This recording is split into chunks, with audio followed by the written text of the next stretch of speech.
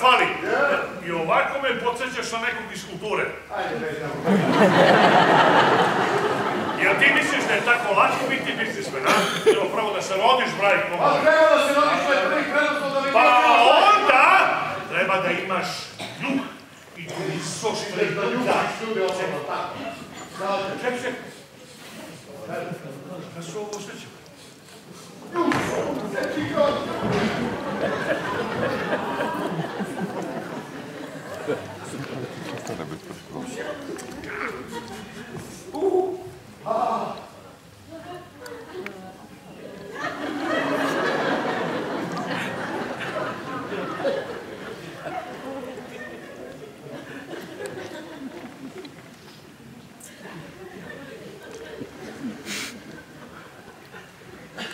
Facci riparire. Prossimi un propastio pantalone a fine 2 euro. Tu neku rakiju tu. Što si rekao? Imam re rakiju, neko ćeš rakiju ili nećeš? Šta si čekao do sada? Ajde, što se Ne, jeli, kad te pitam, molim te pravo što nesiš, molim te.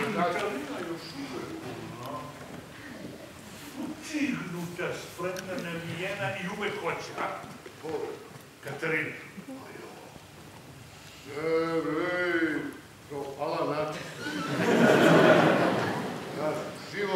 Život je pregazio skroz. Znaš na šta liči, ko kineski kišobran, ispale ove žici gotovo.